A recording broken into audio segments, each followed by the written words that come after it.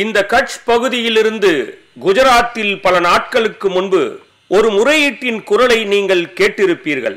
ஆனால் புஜ் அத்தகைய சோதனையிலிருந்து வெளியே வந்துள்ளது இப்பொழுது. இது எப்படி சாத்தியம் என்று கேட்கும் அளவிற்கு கற்பனை கூட செய்ய முடியாத ஒரு அதிசயம் நிகழ்ந்தது. கொடூரமான நிலநடுக்கம் புஜ் பகுதியை நிலைகுலைய வைத்தது. பூகம்பத்தின் பேரழிவு ஒவ்வொரு தெரு மூலைகளிலும் பரவியது. வீடு கோவில் மைதானம் மருத்துவமனை என நீங்கள் பார்த்த இடங்களிலெல்லாம் பேரிடரின் கோர தாண்டவம். ஆனால் சில கொள்கை முடிவுகளும் ஒரு சிறந்த விருப்ப ஆற்றலும் புஜ் பகுதியின் தோற்றத்தை மாற்றத் தொடங்கின. மன உறுதி கொண்ட அரசியல் தலைமை ஒன்று அடிப்படை பிரச்சனைகளை கண்டறிதல் வளங்களை சமமாக விநியோகித்தல் அறிவியல் சிந்தனை மற்றும் தீர்வுகள் அத்துடன் எதிர்கால தேவைகளை அடையாளம் காண்பது போன்ற அம்சங்களில் கவனம் செலுத்தியது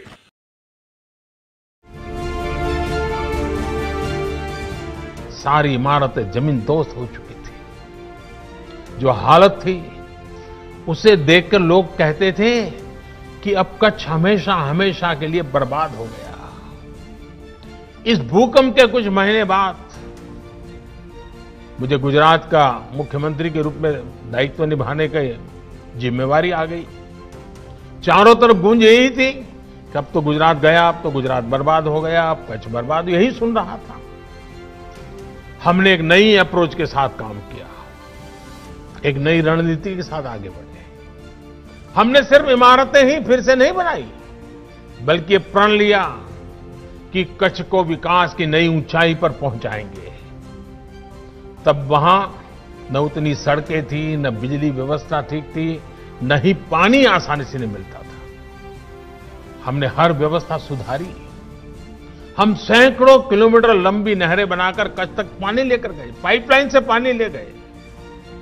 कच्छ की हालत ऐसी थी कि वहाँ टूरिज़्म के बारे में कोई सोच भी नहीं सकता था। पेरड़िवल कालत्तिन कट्टा ஆனால் அவற்றை எதிர்த்து போராடுவதற்கு ஒரு நிலையான தயார் நிலை தேவைப்படுகிறது பூகம்பத்தினால் ஏற்பட்ட மாற்றம் புஜ் பகுதியை இருபது ஆண்டுகள் முன்னோக்கி எடுத்துச் சென்றுள்ளது என்று சொன்னால் அது தவறாக இருக்காது இதற்கு காரணங்கள் பல உள்ளன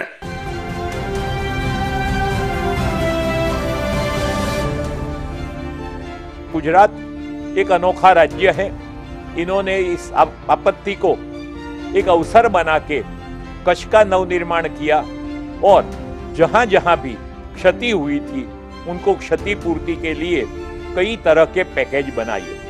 जो लोगों का जान गंवा चुके थे, उनके लिए हम निसहाय थे। किंतु जो भी प्रवृत्तियाँ रुकी थी, जो मिलकतें नष्ट हुई थी, उनका पुनर्निर्माण का काम गुजरात ने जिस तेज़ी से करीबन दो तीन साल की अवधि में किया, पूरे नए नगर बसाए ये कार्य आज भी अंतर्राष्ट्रीय क्षेत्र में एक उदाहरण रूप गिना जाता है। 2001 के भूकंप के बाद यूँ समझो कि पहले ऐसा लग रहा था कि भूकंप ने सब विनाश कर दिया, लेकिन हकीकत में उसके बाद जो डेवलपिंग हुआ है, यहाँ का एजुकेशन कल्चर, वो फ़िज़िकल हो या प्रैक्टिकल हो, सभी तरह से इसमें पूरे पूरा पॉजिटिव बदलाव आया है। डिजिटल माध्यम से बच्चे स्कूल में पढ़ाई कर रहे हैं वेल एजुकेटेड टीचर यहाँ पे बच्चों को पढ़ाते हैं।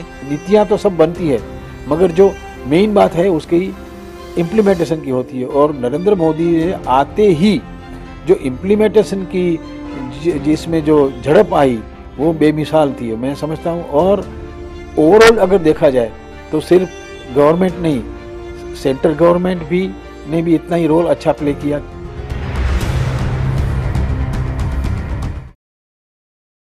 குஜராத்தின் புஜ் கட்ச் பரூச் அன்சார் காந்திநகர் ராஜ்கோட் ஆகிய பகுதிகளில் நிகழ்ந்த உலகின் மிக மோசமான நிலநடுக்கத்திற்கு பிறகு நரேந்திர மோடி மக்களுடன் முன்வரிசையில் நின்று போராடி ஒரு நம்பிக்கையை ஏற்படுத்தினார். சவாலான காலங்களில் படையோடு படை தளபதியும் களத்தில் நின்று போராட வேண்டும் என்பதை இவர் நிரூபித்தார். முயற்சி மற்றும் மன உறுதியுடன் நின்று போராடுவது தலைமையின் சிறப்பு. அப்போதைய குஜராத் முதல்வர் நரேந்திர மோடி மாநிலத்தில் பேரிடர் மேலாண்மையின் பரிமாணங்களுக்கு அடித்தளமிட்டார். இது தேசிய அளவில் பேரழிவை எதிர்த்து போராடி வெற்றி பெற ஒரு வழிகாட்டியாக அமைந்தது.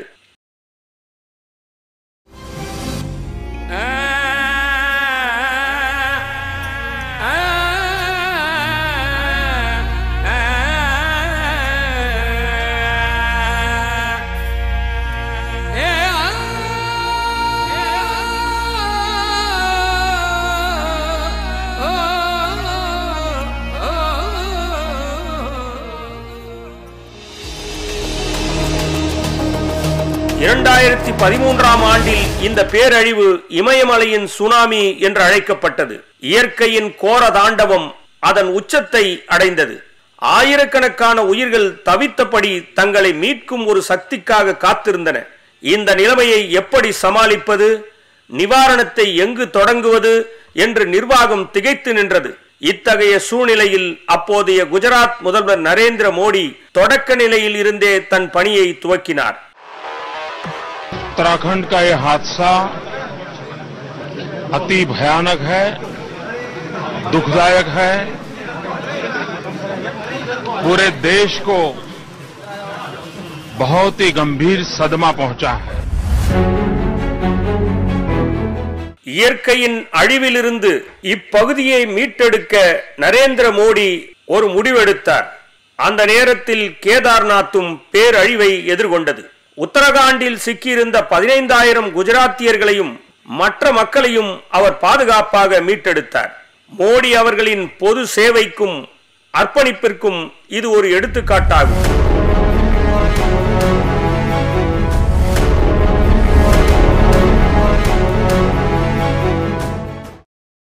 பாபா கேதார் கோவில் மீட்கப்பட வேண்டிய நிலையில் இருந்தது. அப்போது கூட நரேந்திர மோடியே முன்னணியில் நின்றார். நரேந்திர மோடி அவர்கள் சேதமடைந்த கேதார்நாத் கோவிலை மீட்டெடுக்க முன்மொழிந்தார். இரண்டாயிரத்தி பதினான்குக்கு பிறகு பாபா கேதார் கோவில் புதிய வடிவத்தில் பக்தர்கள் முன் தோன்ற வேண்டிய நேரமும் வந்தது. அதன் பெருமையும் பிரதமர் மோடியைத்தான் சேரும்.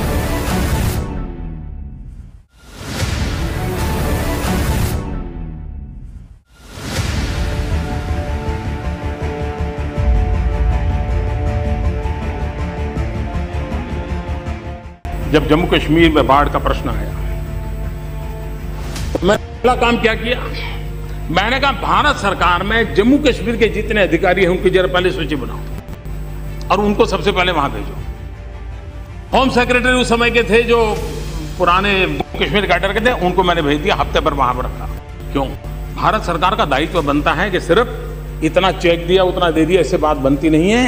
हमने पूरी ताकत से उसके साथ कंधे से कंधा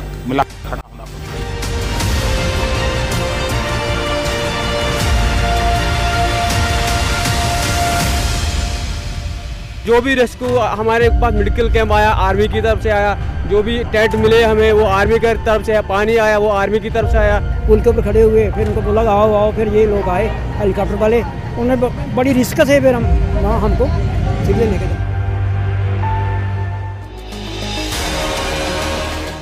கடுமையான புயல் நாட்டின் மேற்கு கடற்கரையை அழித்தது குஜராத் மற்றும் மகாராஷ்டிராவின் கடலோர பகுதிகளில் பெரும் சேதம் ஏற்படும் என்று அஞ்சப்பட்டது. வானமே இடிந்து விழும் என்பது போல தோன்றியது. நல்ல வேளை புயல் விரைவாக வலுவிழந்தது. ஆனாலும் புயல் காரணமாக பதினாறாயிரத்திற்கும் மேற்பட்ட வீடுகள் சேதமடைந்தன. நாற்பது ஆயிரத்திற்கும் மேற்பட்ட மரங்கள் மற்றும் ஆயிரத்திற்கும் மேற்பட்ட மின் கம்பங்கள் சாய்ந்தன. அந்தந்த மாநிலங்களுடன் இணைந்து நாட்டின் பிரதமர் முழுமையான ஏற்பாடுகளை செய்ய தொடங்கினார். பல ஆண்டுகளின் முழுமையான பேரிடர் மேலாண்மை அனுபவம் இதன் விளைவாக கிடைக்கத் தொடங்கியது. பேரழிவு எவ்வளவு பெரியதாக இருந்தாலும் அது அழிவை விட உருவாக்கத்திற்கு அதிக வாய்ப்புகளை தருகிறது என்ற சிந்தனை பேரழிவு முன் அறிவிப்பையும் ஒவ்வொரு நிலையிலும் நிறுவன ரீதியாக தயார்படுத்தலையும் பலப்படுத்தியது. குஜராத் முதலமைச்சராக இருந்து இப்போது பிரதமராகவும் நரேந்திர மோடி அவர்கள் பேரிடர் மேலாண்மையில் ஒரு வெற்றிகரமான உருவமாக திகழ்கிறார் ஒரு சரியான முன்மாதிரி இவர் இத்தகைய மாற்றம் கடந்த ஏழு ஆண்டுகளில் எப்படி ஏற்பட்டது कभी कभार प्राकृतिक आपदाएं हम लोगों के बहुत बड़ी चुनौती बन जाती है मैं देशवासियों को विश्वास दिलाता हूँ कि ऐसे संकट के समय पूर्ण संवेदनशीलता के साथ जन सामान्य की सुखाकारी के लिए, सुरक्षा के लिए कुछ भी करने में हम कमी नहीं रहने देंगे।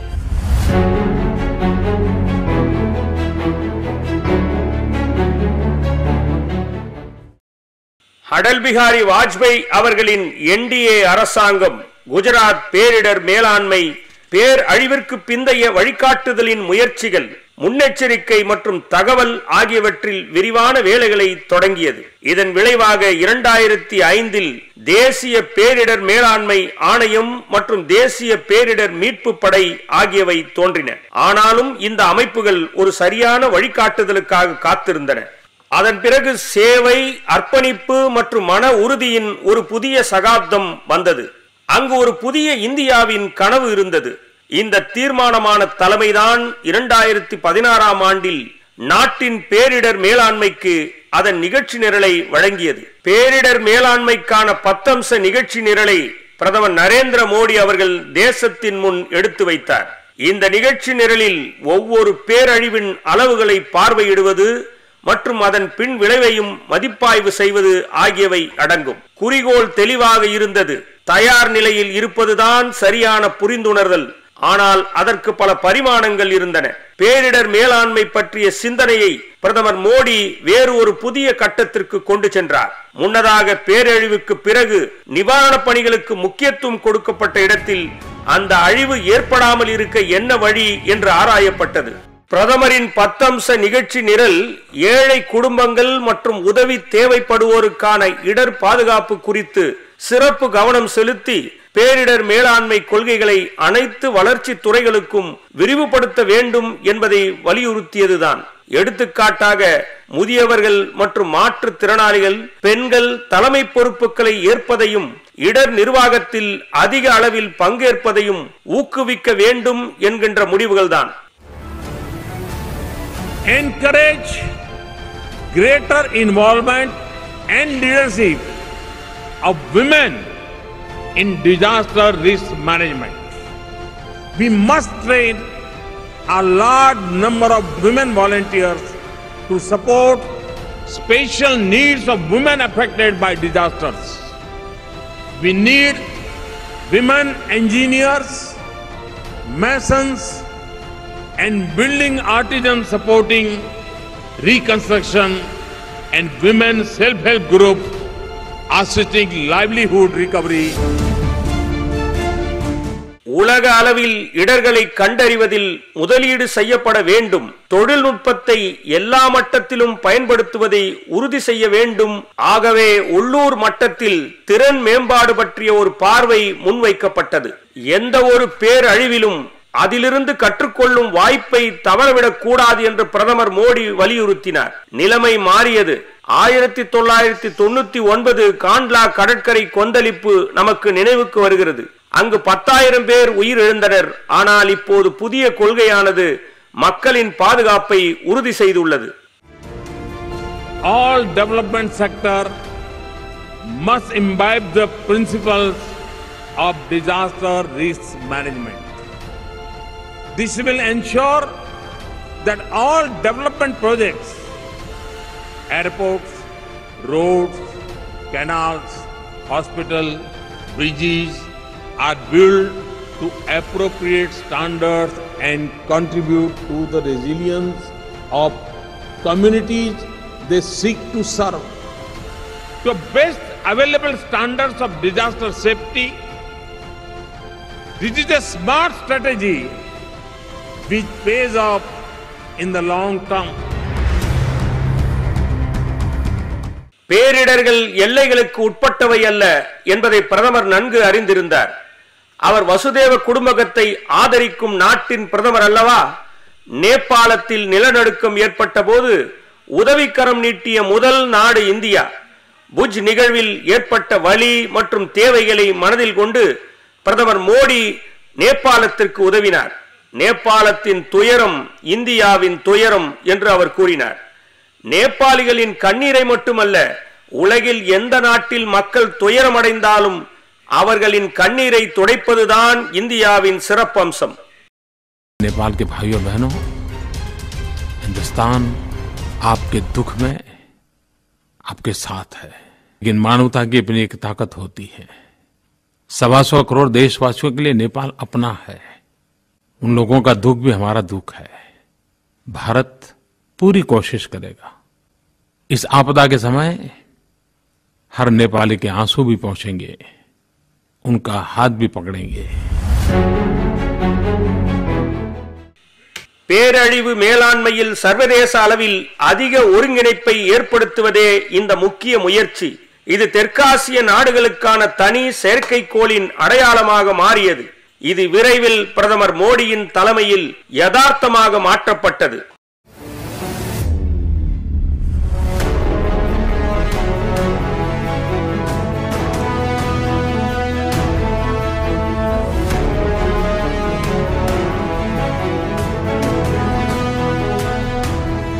Today is a historic day for South Asia, a day without precedence. Two years ago, India made a promise, a promise to extend the advanced space technology for the cause of growth and prosperity of our brothers and sisters in South Asia.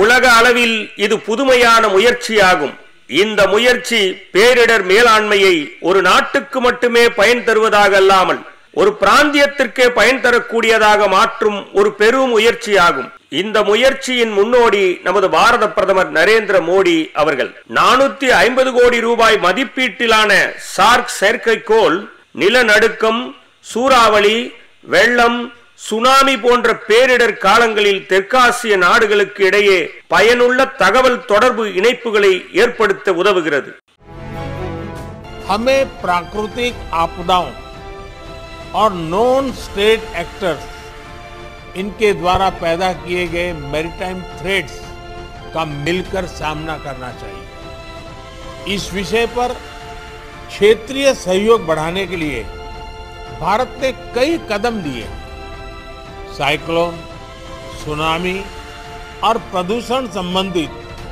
समुद्री आपदाओं में हम first responder रहे हैं।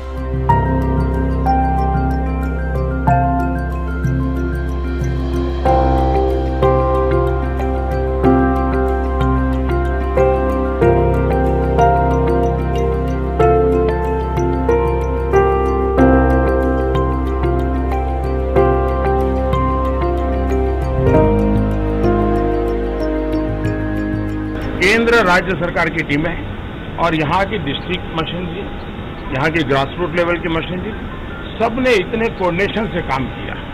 दूसरा, मैं आज देशवासियों को भी कहना चाहूँगा कि जिस प्रकार से उड़ीसा के नागरिकों ने और हमारे मछुआरे भाइयों बहनों ने सरकार की सभी सूचनाओं का पूरा पूरा पालन किया, वरना होता क्या है? हम कहें कि मुसीबत आएगी घर खाली करो, कोई खाली नहीं करता। इस बार उड़ीसा के नागरिकों ने बहुत ही अच्छा काम किया वो अभिनंदन के पास है।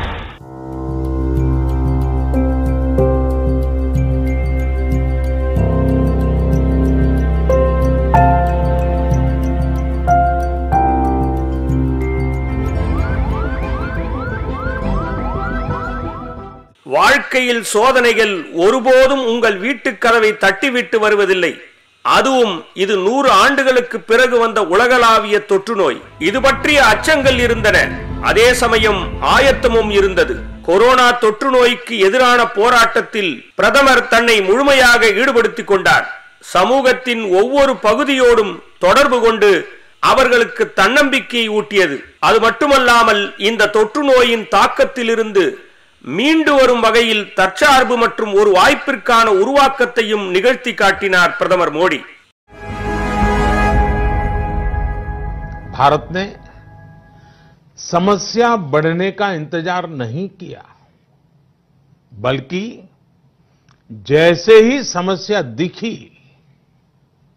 उसे तेजी से फैसले लेकर उसी समय रोकने का भरसक प्रयास किया। साथियों, वैसे एक ऐसा संकट है जिसमें किसी भी देश के साथ तुलना करना उचित नहीं है। लेकिन फिर भी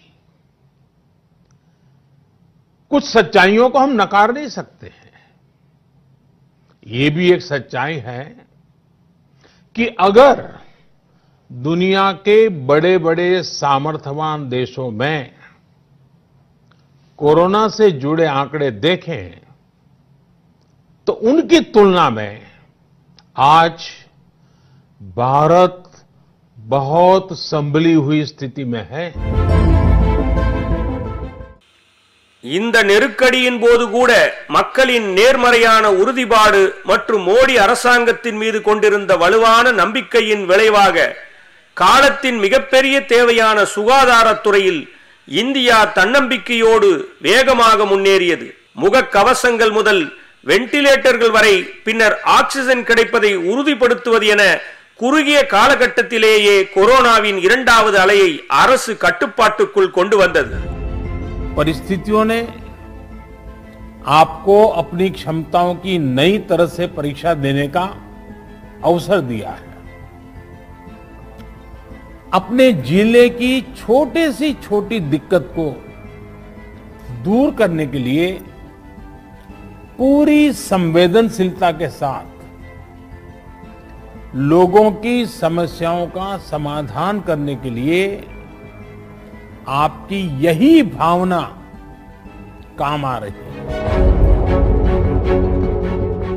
இப்போது உலகின் மிகப்பெரிய தடுப்பூசி இயக்கத்தை நாம் மேற்கொண்டு வருகிறோம் இது பேரழிவை நிர்வகிப்பது மட்டுமல்ல நமது தயாரிப்பின் பலனாகும் தொடர்ச்சியான கண்காணித்தல் வளங்களை விநியோகித்தல் வரவிருக்கும் காலத்தை கூர்ந்து கவனித்தல் நிபுணர்களின் ஆதரவு மற்றும் பொதுநலம் ஆகியவற்றை உள்ளடக்கிய தீர்மானமாகும் இந்த தீர்மானத்தின் நோக்கம் என்னவென்றால் வளமான நிகழ்காலம் அதுவே வளமான எதிர்காலம்.